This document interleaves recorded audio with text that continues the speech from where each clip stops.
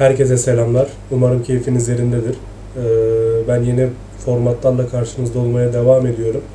Ee, Bugün de zaten bildirmiştim. Bilas Haber Ajansı'ndaki bütün ilişkimi kestim. Ee, Aslında çok uzun şeylere dayanıyor ama kısaca bilmeniz gereken bir şey var. Sadece spor muhabirliği yapmıyordum ben orada. Sadece yansıttığım spor muhabirliğiydi. Onun dışında diğer yaptığım haberlerin beni yıprattığını ve aslında biraz asıl hedefimden e, uzaklaştırdığını hissettirdi ve böyle bir ayrılığa vardım ki zaten ben Hatay Spor'da aldığım bilgilerin çoğunu kendi emeğimle, kendi tanıdıklarımla e, alıyordum. Bu da bu şekilde devam edecek. Bunu da söyledim. E, şimdi biraz daha boştayım aslında. Bu daha iyi oldu. Daha fazla Hatay Spor'a yoğunlaşabileceğim. Daha fazla bilgiler alabileceğim. Yine sezon açılınca antrenmanlara da giderim. E, o konuda hiçbir sıkıntınız olmasın. Her türlü bilgiyi Hatay'da olduğum sürece aktarmaya devam edeceğim. Ee, yeni bir formata da geçtik. Aslında bu sıralar biraz gündem boşta. Emre Çolak açıklandı. Evet ilgilenilen isimler var. Ee, benim söylediğim isimlerle de görüşmeler devam ediyor ama şu sıralar e, böyle net bir şey beklemiyorum. O yüzden dedim ki böyle bir video çekeyim. Acaba Hatay Spor'un hangi bölgelere ihtiyacı var? Bunlara bakalım. Aslında cevap çok basit. Her yere ihtiyacı var. Ee, kadro üzerinden de gideceğiz sonra. Ee, orada da göstereceğiz ama gerçekten ee, Hatay Spor sıkıntılı. Ee, çok farklı opsiyonlara ihtiyacı var takımın. Hepsine teker teker bakalım. Aynı zamanda ekrana sorularınızı da yansıtacağım ilerleyen vakitlerde. Onlar üzerinden de değerlendirmelerimizi yapacağız. Kadrodan bakalım şimdi. Ee, şimdi kaleci 3-4 kaleci olarak gözüküyor. Münir, Akın Alkan, Ekrem Kılıçarslan ve Yavuz Buğra Boyar. Şimdi bunların e, en önemlisi Münir. Münir gerçekten bu sezon iyi bir performans sergiledi. Münir takımda kalıyor. Ancak diğer üç kaleci için e, pek net bir şey söyleyemeyeceğiz. Çünkü Ekrem Kılıçarslan dışında sözleşmeleri biten oyuncular. Yavuz Buğra genç bir oyuncu ama e, geleceği yine belli değil. Akın, Akın abi büyük ihtimal takımdan ayrılacak. Artık bu takımda vaadinin dolduğunu düşünüyor. E oraya bir tane kaleci almanız gerekiyor. Şu mevcut durumda bile orada aslında bir tane e, Münir'e eşdeğer ve Münir'i zorlayacak bir kaleci gerekiyor. Bu çok önemli. E, o yüzden bir eksik kaleci bence ki Akın da gidecek. Yavuz Buğra'nın da gittiğini düşünürsek orada bir Ekrem Kılıçarslan ne kadar yeterli olabilir tartışma konusu. Ee, o anlamda orada daha farklı opsiyonlar, daha farklı bir kaleci bence gerekiyor. Ee, onun dışında artık stopere de geçelim. Ee, stoperde Pablo, e, olaylı Bilong, Yusuf Abdioğlu ve Soner, er, Soner Örnek. Ee, Soner abiyle de zaten yollar ayrıldı. Bilong kadro dışı. Bilong'un da opsiyonuna değinelim. 2 artı 1 arkadaşlar. Bazıları bana mesaj atmış. Türkiye Futbol Federasyonu'nda bir yıl daha uzadı diye. Çünkü bu otomatik olarak uzuyor. Çünkü oyuncu 2 yıl kiralandı. Artı bir opsiyon yapıldı. O opsiyon içinde satın alma opsiyonu var. Ee, o kullanılmayacak. Bilong bu sezon bu takımda kalsa bile, öyle gözükse bile ben hala kadro dışı kal- kalacağını düşünüyorum ki böyle de olmak zorunda. Ee, Ömer Hoca Pablo'yu istiyor. Bunu zaten söylemiştim. Pablo'da görüşmeler devam ediyor. Büyük ihtimal takımda kalacak. Orada bir Fatih hamlesi olacak ama Soner de Soner abi de ayrıldı. Yusuf Yusuf abi de aslında biraz belirsizliğini koruyor. O anlamda yani stoperinizde şu an mevcut durumda bütün oyuncularınızın sözleşmesi bitmiş durumda. O yüzden oraya kesinlikle bir hamle gerekiyor. Fatih Kurucu konuşuluyor. Botegan var Feyenoord'da sözleşmesi sona eren futbolcu. Onunla görüşülüyor ama genel itibariyle aslına baktığımız zaman Hatay Spor'a iki tane daha stoper gerekiyor. Santos kalsa bile. Santos kalsa bile hatta 3 tane gerekiyor. Çünkü e, yoğun fikstür oyuncuların sakatlanabilir. Orada birçok opsiyon bulundurabilirsin ki geçen sezon bu biten sezonda Hatay Spor'un en çok e, canı bence stoper hattından yandı. O yüzden oraya ayrı bir takviye gerekiyor. Stoper'e de 3 tane oyuncu yazdık. Ee, sol bek mevkine geçtiğimiz zaman 3 oyuncu burada gözüküyor. Katranis, Yusuf Kura ve Mesut Çaytemel. Ee, Mesut Kaptan'ın zaten belirsizliği hala sürüyor. Büyük ihtimal takımdan ayrılacak. Bunu da söylemiştik. İlerleyen günlerde Mesut abiyle ya sözünü vermeyeyim burada net bir şey olmasın ama bir röportaj yapma gibi şansım olabilir bu kanal üzerinden online bir şekilde. Onu kovalıyorum. O olursa zaten çok net bir şekilde gelir bizi aydınlatır. Onun dışında Katranis dün dış basına yaptığı açıklamada kariyerinin Hatay Spor'da devam etmeyeceğini düşündüğünü söyledi. Ki bence de en mantıklı karar bu olur. Ben Katranis'i beğenen taraftan değilim. Ee, bence çok yetersiz bir oyuncuydu. Ee, onun dışında Yusuf Kone, Yusuf Kone geldiğinden beri bence çok yetenekli bir futbolcu onu söyleyeyim. Ama alışma süreci çok uzun sürdü, sakatlıklar yaşadı. Ee, onun da büyük ihtimal sözleşmesi uzatılmayacak, o da yollardan ayrılacak. E bu mevcut durumda sol bekiniz de yok, oraya da sol bek gerekiyor, en az iki tane. Ee, İsmail Köybaşı konuşuluyor. Ee, Marlon, Marlon'la da görüşmeler devam ediyor. Bu iki ismi alsanız bile bence bir isim daha gerekiyor sol beke. Bunu da yazdık. Ee, şu ana kadar 3 mevkide en fazla en az 5 tane oyuncuya ihtiyacınız oldu. Ee, sağ beke geçelim. Popov, e, Burak Çamoğlu iki tane oyuncunuz var. Burak bir sene daha kalacak. Kendisine birkaç teklif var ama bir sene daha tutmak istiyor Ömer Hoca takımda rotasyon olarak. Popov, Popov'un da sözleşmesi bitti. Aslında Popov kötü bir oyuncu değil. Ee, ben bir sene daha bu takımda iş yapabileceğini düşünüyorum. Çünkü kanat organizasyonlarında Popov gerçekten de hücumcu bir bek olarak iyi bir katkı sağladı. Evet defansif anlamda sıkıntısı vardı ama e, bence yapılan orta, ortalarda, açılan ortalarda o hücum katkısında Popov'un bence çok büyük rolü vardı. Hani bir sene daha evet oraya yine bence iki tane sağ gerekiyor. Ama hadi bir tane aldım, bir tane de Popov, bir kere de Popov'u bir sene daha tutarsan tamamdır diye düşünüyorum ben. Ee, sağ bekten de hadi bir artı bir yazalım, bir oyuncu yazalım. Onun dışında Popov ve Burak Çamoğlu. Aslında oraya bir artı takviye yeter. Şimdi ön libero'ya gelirsek ee, Abdurrahman Canlı, Isaac Saki iki oyuncu var. Bunlar ön libero böl- böl- bölgesinde oynuyor 6 numarada. Ee, Saki isteneni veremedi ki ben Saki'den çok ümitliydim.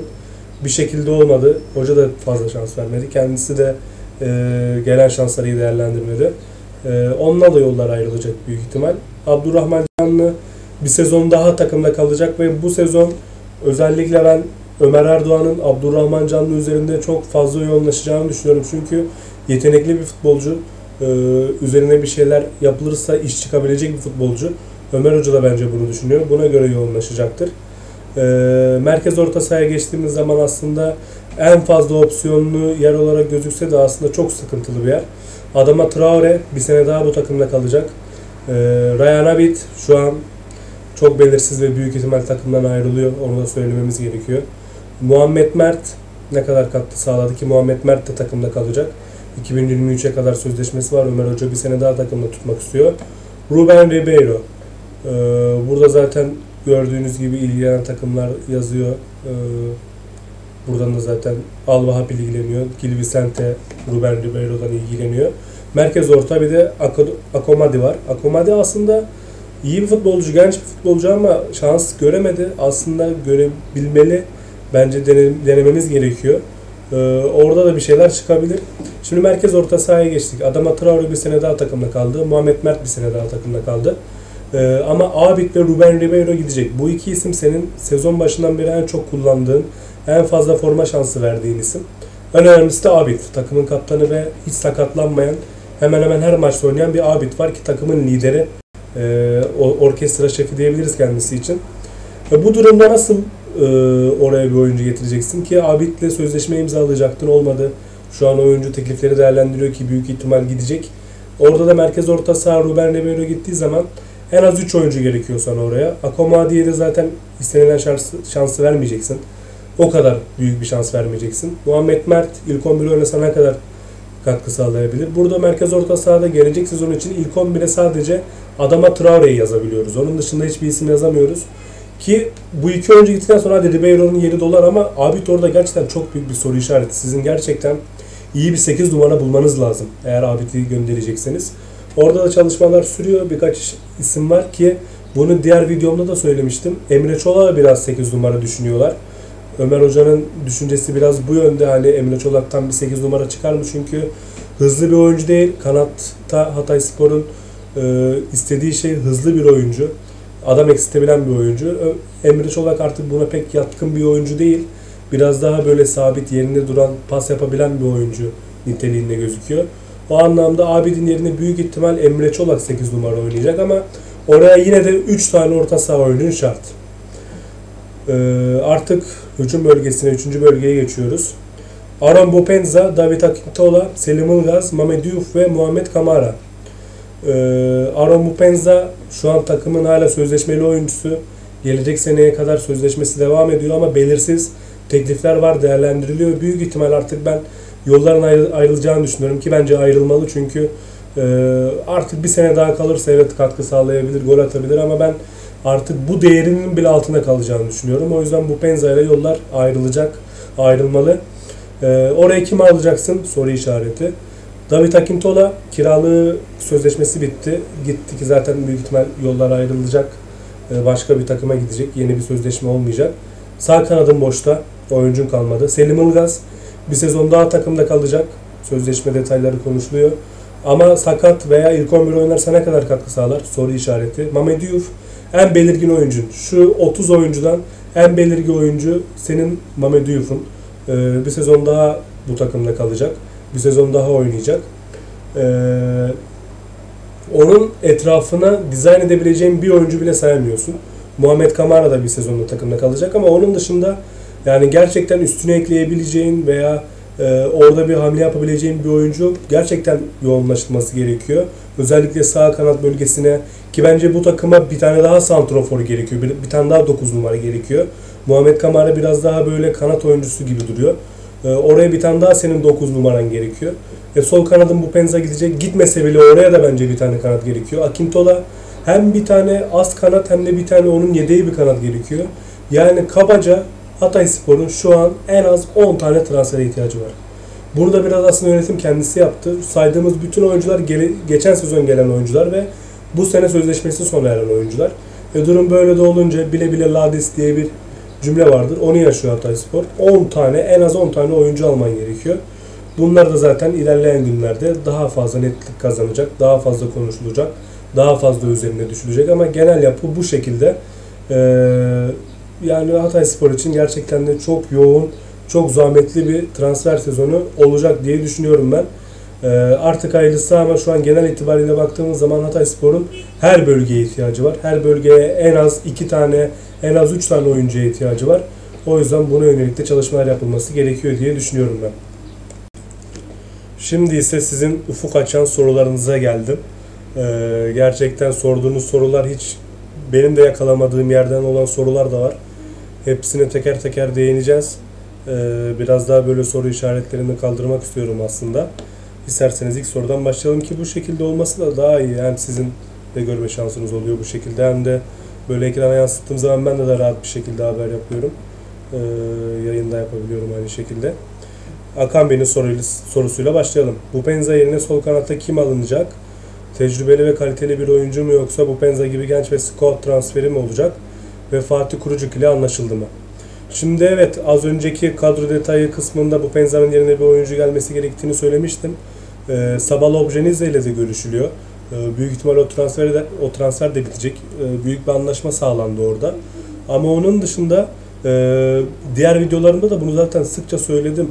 E, Hatay Spor yönetimi, Hatay Spor'un transfer e, görevlileri e, ilgilendiği şeyler ve aslında odak olarak kurdukları şey scout transferleri. Bunları göreceğiz. Daha Hatay Spor'un belki de hiç ismi bilinmeyen futbolcular getirdiğini de göreceğiz transfer sezonu içerisinde. Scout transferi de olacak. Aynı zamanda bilinen e, Türkiye Ligi'nde oynayan veya farklı liglerde bilinen futbolcular da gelecek. E, onu da söyleyelim. Ama oraya iki yönlü de transfer olacak. Sabal Objenitse büyük ihtimal e, orada bilinen bir isim olacak. olacak. Onun dışında genç bir oyuncu yine scout transferi olacak. E, Mehmet Fatih Fatih Kavlak neden istifa etti? Aslında bu bana çok soruldu bir şekilde de açıklayamadım. Sürekli başka işler girdi araya. Ee, geçen sene izlediğiniz kadronun e, yarısından fazlasını kuran Fatih Kavlak isimleri bulan. Tabii ki de ekiple birlikte çalışıyor ama e, gerçekten de çok başarılı, çok iyi bir hoca. Çok da severim kendisini. Ama bazen böyle şeylerde anlaşmazlık olabiliyor bazı şeylerde. E, içeriğini tam olarak bilmemekle birlikte e, yönetimle ilgili birkaç sıkıntılar olmuş kendisi arasıyla. E, ama hiç kimseye küs veya dargın bir şekilde gitmemiş. Kendi isteğiyle ayrılmış. E, öğrendiğim detaylar bunlar. Zaten bu tip ayrılıkları böyle alalen veya açıklayıcı bir şekilde kimse söylemez. Çok böyle önemli bir şey olmadığı sürece. iki taraf anlaşamadı ve bu ayrılık gerçekleşti. Fevzi Aydemir abi yazmış. E, bu sene kanatlar iyi bir transfer olursa Mehmet Diouf gol kralı olur. Kesinlikle katılıyorum. Az önce de söylemiştim. Tek belirgin oyuncun Diouf ve onun etrafına oyuncular dizmen lazım ki en fazla da Diouf bundan verim alabilsin. Abid de giderse takımın kaptanı olacak. Yani ben de Mami Diouf'un çok önemli bir rol oynayacağını düşünüyorum ama etrafına iyi oyuncular dizmeniz gerekiyor. 0-1 hataylı Süleyman. Sağ bek ve yedek forvet için hangi transferler yapılacak? Abid ve Ribery'deki son durum nedir? Az önce kadro detayından bahsettim. Sağ bek ve yedek forvet için transferler yapılacak. Ee, Birçok oyuncu düşünülüyor.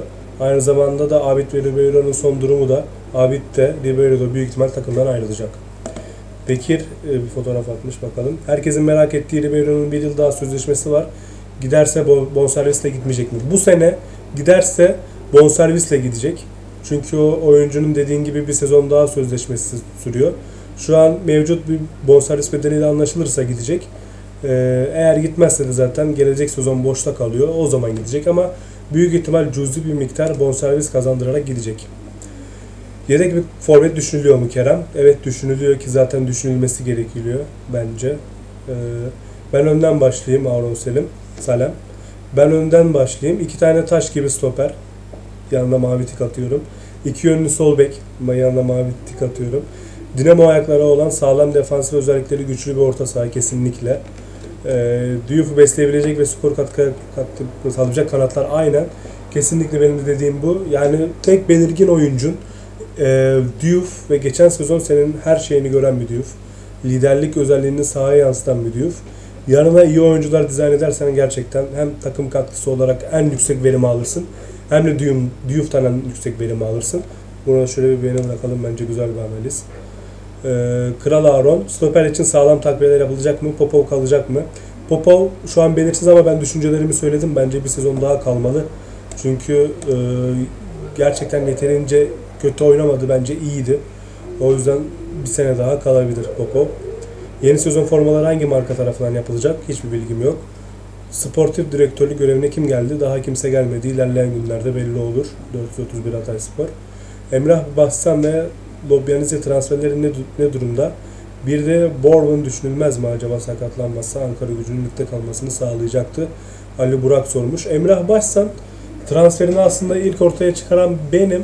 Ee, çünkü ben orada birkaç kişiden görüştükten sonra Hatay Spor'un bir şekilde devreye gire- girebileceğini duymuştum. Ee, kesin bir giriş zaten olmadı. Resmi bir teklif yok. Oyuncunun menajeriyle de görüştüm. Ama böyle bir düşüncesi olduğunu Hatay Spor tarafından ben teyit ettirdim. Zaten orada da kullandığım kelime devreye girebilir. Girdi veya herhangi bir görüşme başlattı değil. Girebilir gibi bir ihtimalden bahsetmiştim. Böyle bir şey olduğundan bahsetmiştim. Daha sonrasında bayağı bir de etki gördü haber. Ee, Birçok yer aldı kullandı. Öyle bir ihtimal hala var. O Hatay Spor sadece Emrah Başsan'la değil diğer oyuncularla da ilgileniyor. Ee, Ama oyuncunun menajeriyle görüştüğüm zaman Hatay Spor'dan resmi bir teklif almadıklarını söyledi. Lobyaniz'i transferi bitti. Bitmek üzere son pürüzler kaldı. Oyuncu da yakın zamanda açıklanacak. Borven düşünülebilir ama öyle bir gündem yok şu an. Eğer Abid ve Ruben giderse yerine kimler alınır? İşte Abid yerine 8 numara Emre Çolak düşünülüyor onu söylemiştim. Onun dışında Ruben yerine şu alınır diyemiyorum. Fatih Kurucuk transferi de prensip anlaşmasına vardı. Burada en büyük rolü Ömer Hoca oynadı. Ömer Hoca gerçekten e, Fatih'le özel birebir görüştü ve oyuncuyu ikna etti bir sezon daha gelişip daha büyük takımlara gitmesine. O anlamda e, Fatih Kurucuk transferi de bitti sayılabilir. Yedek kalıcı yedek yedek kalıcı durumu ne olacak Ömer Hoca? Ekrem'e mi güvenecek acaba? Yedek kaleci demek istemiş herhalde. E, onu zaten az önce değindim. Ekrem'e tek başına güvenemez çünkü bir tek Münir kalıyor elinde. Oraya bir e, takviye daha yapman gerekiyor. Çünkü diğer şu an mevcut iki oyuncundaki kaleci gidecek. Akın ve diğer e, kalecimiz. O yüzden oraya bir takviye yapılması gerekiyor diye düşünüyorum. Sol bek konusunda bir gelişme var mı acaba? Kaptan Mesut bırakacak mı? Videolar keyifle izliyoruz. Teşekkür ederim öncelikle. Evet Kaptan Mesut büyük ihtimal futbolu bırakmayacak ama Hatay Spor'daki vaadi doldu diyebiliriz. Ee, videonun başında da söyledim. Mesut abiyle bir röportaj, kaptanla bir röportaj yapma gibi bir şansım var. O zaman daha net bir şekilde e, bilgiler aktarabiliriz sizlere. Sol bek konusunda bir gelişme var mı? Görüşmeler var birkaç oyuncuyla. Onları da zaten söylemiştim. Ee, ona da bakacağız. Abi tamamen günden dışı ama Musa Sol Hatay Spor'a gelse iş yapar mı? Ben yapacağını düşünmüyorum ki artık böyle bilindik isimlere ve yaşlı oyunculara bence yönelmememiz gerekiyor. Öyle düşünüyorum. Abupenza büyük ihtimal geliyor. Sağ kanat ve sol kanat için düşünen isimler var mı? Varsa kim? Kamara'nın son durumu nedir? Diğer isimleri zaten söyledim. Kamara'nın son durumu da bir sene daha takımda kalacak. Yani öyle bir ihtimal var şu an. Ee, diğer isimleri de zaten söyledim. Takıma 10 numara transferi olacak mı? Olacaksa ismi geçenler kimler? Ee, takıma 10 numara transferi olması gerekiyor. Daha belirgin bir isim yok ama büyük ihtimal oraya da transfer olacak. Marlon transferinin son durumu nedir? Oyuncuyla birkaç kulüp de ilgileniyor. Ee, Hatay, Hatay Spor da masada. Görüşmeler devam ediyor ama net bir neticeye varılır bir iki güne kadar. Yeni sezon formaları ne zaman çıkacak? Yakın zamanda çıkar. Lobjanitze, Gökçen Kaya, Sadık Baş, Emin Abbas, İsmail Köybaşı, Fatih Kurucuk, Bottingen ve ismi geçen kişi arasından gelebilme durumu olanlar. Lobjanitze, Sadık Baş, İsmail Köybaşı, Fatih Kurucuk ve Bottingen. Bunlar büyük ihtimal gelecek. Bottegen'ı da artık kenarda bırakalım ama net bir şekilde Fatih Kurucuk ve Lobjanitze'nin geleceğini söyleyebiliriz. Mamedu Yufa alternatif bakılıyor mu? Ömer Hoca ne tarz bir forvet istiyor? Yani aynen biraz böyle hem Mamedu Yuf'un yükünü azaltabilecek hem de orada iyi iş yapabilecek rotasyon bir forvet düşünülüyor. Ee, genel olarak birçok mevki, birçok oyuncu düşünülüyor. Genel olarak da biz de böyle toparlayalım. Ya böyle videolar bence çok bilgilendirici oluyor çünkü ben de sizin sorularınızla eksik yönleri cevaplamış oluyorum. Hem de böyle ekrana yansıtarak daha fazla bence detaylı bilgi edinmenizi sağlıyorum. Güzel ve keyifli oldu. Konuşmaktan zevk aldığım bir yayın oldu. Ee, siz de umarım keyif almışsınızdır. Gerçekten bu şekilde devam edeceğiz. Sadece Hatay Spor değil, e, Euro 2020 var. Türkiye'mizi de değerlendirmek istiyorum. A Milli için de yayınlar yapmak istiyorum. Bunların da devamını getireceğiz. Özel konuklarım da olacak. Hepsini artık teker teker böyle artık bir iş yüküm de yok. Evdeyim mezun olana kadar. E, finallerin bitene kadar. Bu şekilde değerlendirmeyi düşünüyorum. Umarım siz de keyif almışsınızdır. Herkese iyi günler.